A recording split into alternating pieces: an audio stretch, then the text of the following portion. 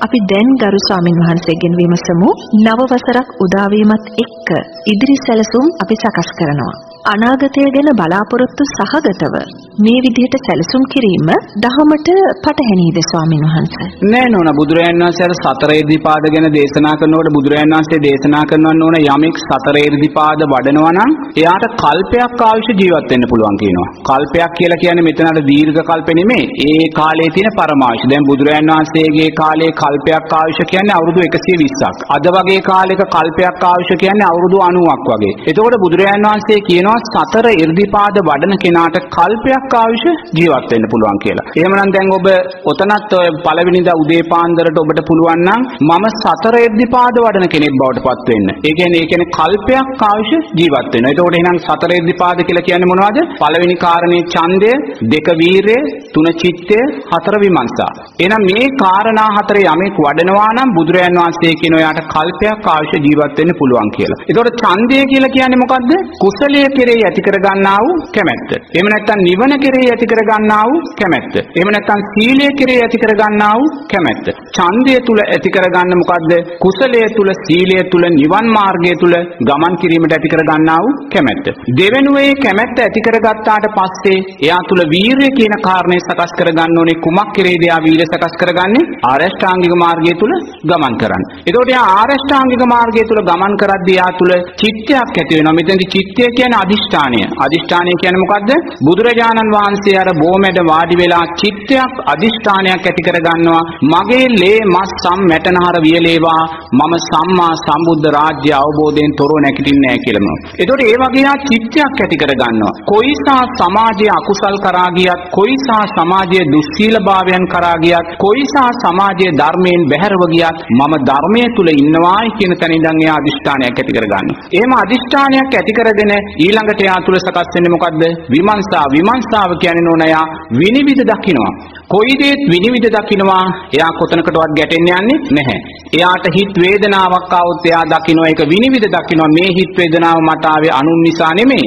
මම්ම සංසාරේ කළා වූ අකුසලයක් නිසා කියලා එයා දැකලා ඒ හිත වේදනාව නිසා එයා අකුසල් කරගන්න යන්නේ නැහැ. එයාට සතුටක් ඇති වෙන වෙලාවේ එයා දකිනවා මේ සතුට ඇති උනේ අනුන් නිසා නෙමෙයි.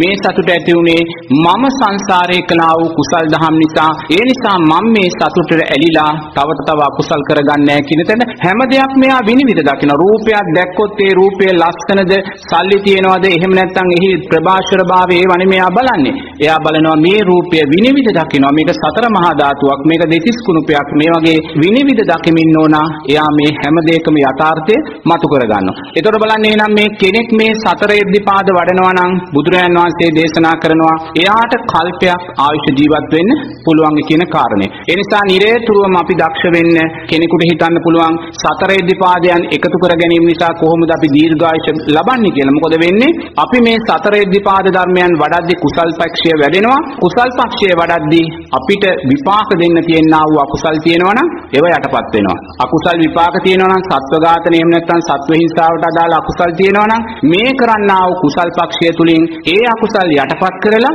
අපේ ආයුෂ ඉස්සරහට අරගෙන යනවා. ඒ නිසා නිරේතුරුවම දක්ෂ වෙන්න සතර ඉර්ධපාද ධර්මයන් වැඩිම තුල ඔබේ දීර්ඝායුෂ බවත් ඒ දීර්ඝායුෂ නිරේතුරුවම ධර්මයේ පැවැත්ම උදෙසා ධර්මයේ අභිවෘද්ධිය උදෙසා ධර්ම මාර්ගයේ ශක්තිය උදෙසා ඒ දීර්ඝායුෂ යොමු කරගන්න දක්ෂ වෙන්න ඕනේ.